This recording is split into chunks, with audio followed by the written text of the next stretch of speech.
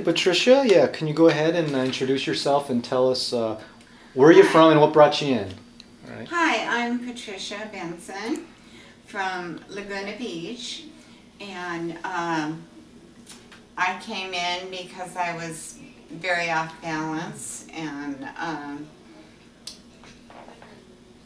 How, what caused your balance to deteriorate? from my um, having cancer and having treatment. I see that you had a stage four, it was a brain tumor, correct? Yeah. And you had a series of uh, radiation chemotherapy treatments? Right. Okay, what year was that? 2002 it started Yeah. and continued on until 2009. All right, but it's in complete remission as of now. Great. However, just uh, one or two years ago, you started having what symptoms in your feet as a result of the chemotherapy? Having wet my feet? Loss of balance, you said? Yes, Okay. major. All right, and has it been getting progressively worse over the years? Um, Yeah, I think so. Yeah. All right. Just noticeably where it was really bothering her in the last nine months probably. yeah. And did that prevent you from like taking long walks or even climbing the stairs with? Without Exactly. worrying about falling. Exercising. Yeah. And what activities do you enjoy doing?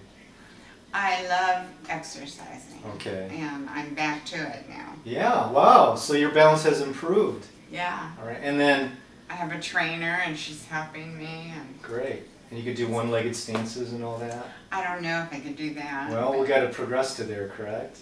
But you notice when you're walking, it's more stable and you're more confident. Yes. All right.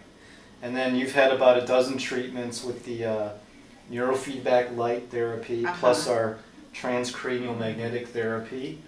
And um, you've had about a dozen treatments. And how many percent improvements in your balance would you say you've had? Uh, it's from one to ten. Yeah, like how many Uh, percent? I Like- would say eight or nine. So 80 or 90 percent improvement. Uh huh. That's that's pretty significant in just under just a dozen treatments, right?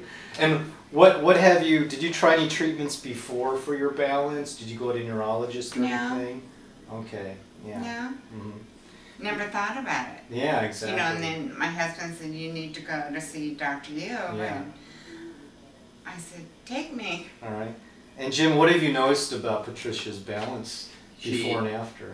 I can notice when I'm, uh, when we're walking uh, Yeah. and I hold her hand, it, she used to squeeze my hand hard. Now, Yeah. now we're just holding hands. Wow. Uh-huh. We go in the movies, she's doing better. She's worse when uh, in a dark situation Okay. And now when we go in, she's doing better, and just her thinking process seems to be clearer.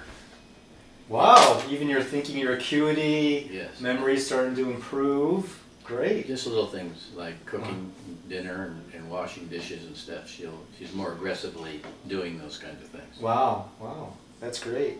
And um, so what I'm going to do now is um, we're going to demonstrate your improvements in your balance because what a lot of folks don't know realize is the number one cause of falls and fractures and sometimes death if you fracture your skull is poor balance. And as we age, sometimes the nerves in our feet they don't respond as well as when we were younger. So it's very important to maintain your balance and leg strength which is really the pillar and foundation of That's your whole body. That's what they've been working on. Exactly. gym, yeah. Now that we got your nerve function and your ability to feel the ground better, now we can start balancing your core, you know, getting back to all your, you know, yoga and exercises. And then we can start strengthening the legs and you can enjoy all those long walks and vacations, all right? Yeah. Now what I'm going to have you do now is, um, can you folks, uh, I'm going to have you get up and I'm going to have you walk out the door and show us your new balance skills.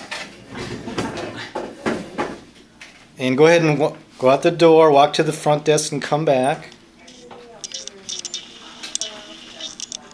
And come on back.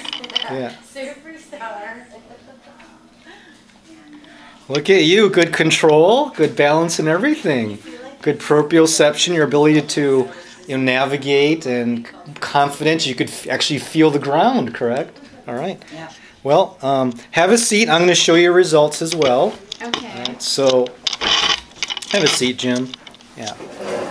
So this is uh, your results of your first neurofeedback treatment right here. And as I showed you before, we were looking at different areas of your brain, 40 different points, and we were going to compare the before and afters right here. So as I showed you before, the main thing we were looking at is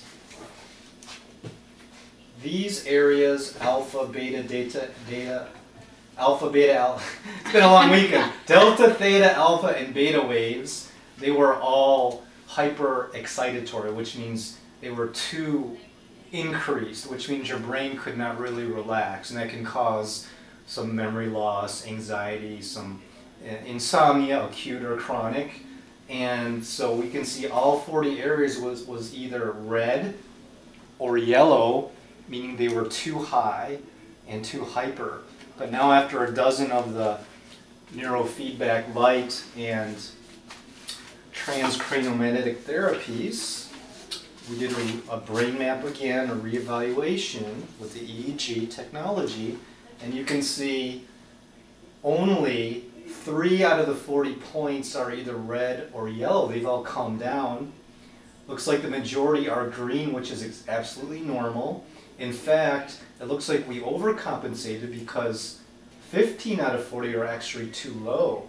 So what we need to do is adjust the neural feedback and magnetic therapy to get most or all these areas in the green to normalize your brain function. Here we go. So there you have it, folks. Um, another miracle we can chalk up. Uh, thanks to Jim, um, you know, with the good results he had and trusting us with his wife, and we're excited and going to put her on a maintenance plan to really uh, so she can enjoy her new her balance and her improved uh, brain function. Thank you for watching. Yeah.